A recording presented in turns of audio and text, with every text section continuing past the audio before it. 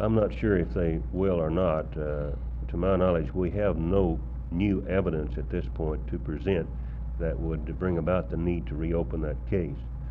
Of course, uh, they are at liberty to do that if they feel that there's a need to do it. But uh, I have no information at this point of additional or new evidence in that case that would uh, bring about the need to reopen, the, reopen it.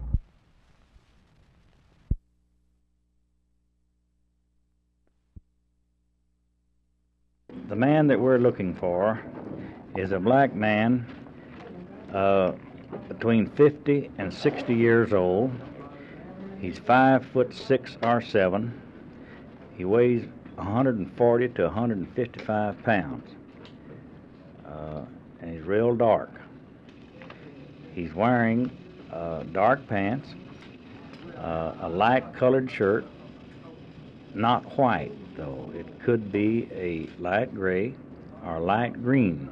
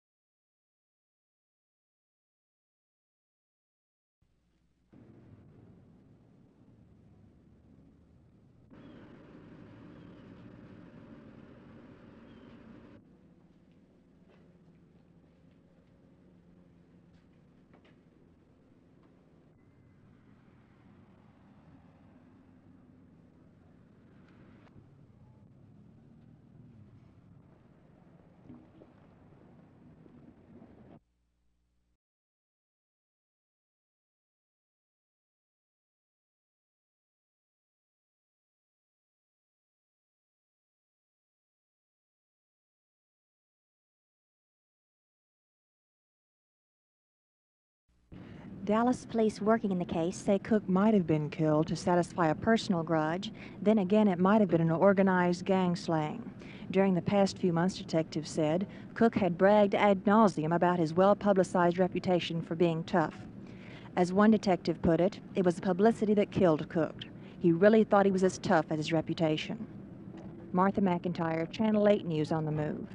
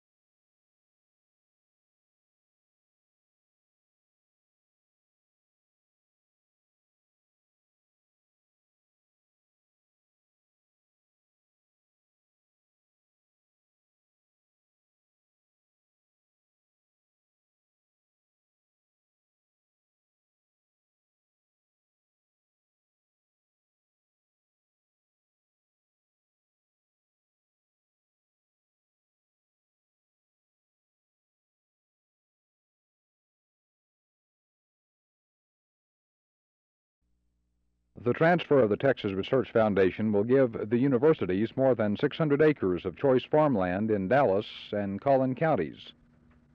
But officials say the transfer will not interrupt the activities which have been going on here for the past 28 years. During this time, the foundation has gained worldwide recognition for its development of new grasses, which are contributing to the economic growth of the state's cattle industry. Extensive laboratory research has shown the way for new cash crops, sunflowers, for example.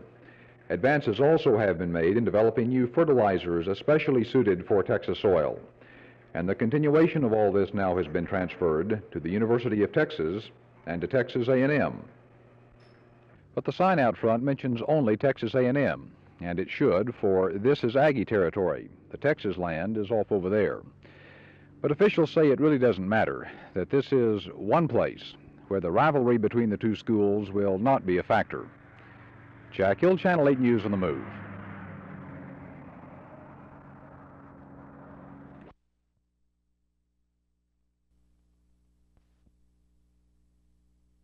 Anybody that's uh, just planted grass, just planted trees, we want them to maintain life on that lawn or that tree. But uh, we don't want somebody trying to maintain the green in their grass. Because as far as I'm concerned, somebody that has a nice lawn out there, if it dies, it's going to come back next year. We, the council, are primarily are concerned with the 500 or so people that have no water to bathe, no water to cook with.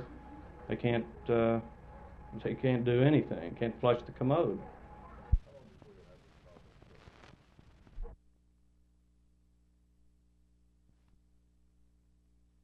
There's lack of communication. There's one, you know, the, the we don't have enough uh, Chicano teachers in the school. The uh, the counselors uh, are predominantly Anglo, and uh, they seem to stray our students or the Chicanos to take vocationals, uh, trades that, that are obsolete, like printing, cosmetology for the girls, auto mechanics, which are jobs that are, you know, they're just they're just obsolete.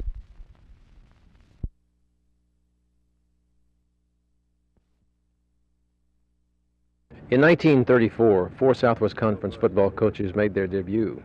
One of them, Jimmy Kitts, for Rice, won the championship that year. It is now 38 years later in 1972, and once again, four new Southwest Conference football coaches make their debut. One of them is Big Al Conover from Rice. We're much deeper than we were last year. Um, we uh, naturally we we have a, a, youngster at backup quarterback that has never played. So I would say, as far as depth, quarterback has to be our problem. Even though we have a, our first teamer is an experienced one. Of course, you never know. You know, you can lose him uh, in the first play of the first game. So that that's a problem to us. Uh, we just uh, you know I try to live right and uh, keep out of trouble and, and hope that things will go my way and that uh, that quarterback will stay well for me. Let's talk now to some of the players. As Bruce Gadd, the quarterback, goes, so goes the offense. And as Roy Rodrigo Barnes goes, so goes the defense. I feel good about this coming year. It's, uh, as you said, I've had a lot of experience, and I think that's the name of the game. You, you can't, you, you never get over the anxieties of playing, but you can get over the fact of having to think your way through a situation. And, and now it, it's starting to come second nature. I mean, you just start to react instead of think your way through it, and that and that's that's the name of the game. How do you feel about your offensive line? Will they be able to protect you? Oh yeah, I'm sure they will. I they're one of, part of my favorite people. They're a bunch of guys that are they're just great guys. They're big and they're fast and they're intelligent and they they know the system as well as I do almost, and they know what they have to do, and then they get the job done. Rodrigo, do you play your position by instinct or uh, or by a game plan? How do, how do you feel about going into the game? How do you get yourself psyched up? Those are a lot of questions, but you can just ramble here. really, I get psyched up thinking about the money in January. Uh, for his playing position, it's more or less instinct, instinctive uh, type of play, along with reading. Uh, it's a combination of both. It has to be in order for you to be, for in order for you to play position correct because there's no set pattern for any back to run or for any offensive lineman to block, you know. Doing game type situation, it changes, you know, so it's more or less those two.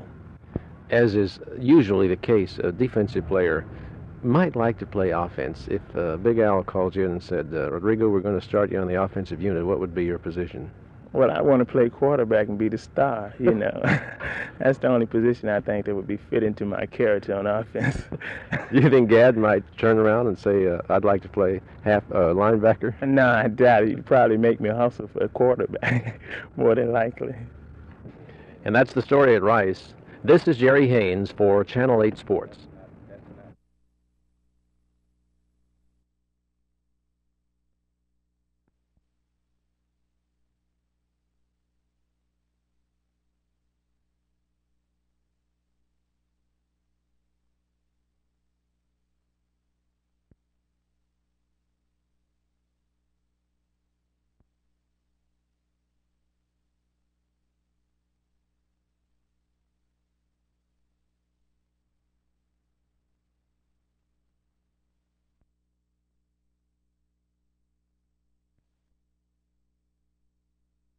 The mustache is back. After years and years of shaved faces dominating the scene, the mustache is gaining in popularity, as testified by the more abundance of lip hair seen on the streets. In earlier years, a mustache or beard stood for the arrival of manhood, and a face without hair was a sign of servility. Men starched their mustaches, sprinkled gold dust in them, waxed them, and curled them, and just about everything imaginable. But the men of today have a tremendous advantage over their forefathers. They don't even have to grow their own. They can buy a mustache in a wide variety of styles. Channel 8's Steve Pontius tried a few on for size, but decided his fiancee would not permit a mustachioed companion. Which reminds me, women represent the main reason many handsome mustaches have been prevented. There are some advantages to buying your own mustache, for example, for men who can't grow their own for those who can, but the mustache is accepted on their job or in some social circles. And for some men who find that the hair on their face is not exactly the same color as the hair on their head. Another advantage is the price. I was told today that I could buy a mustache like my original pretty cheap. That doesn't sound exactly like a compliment. Jim Green for Channel 8 News on the Move.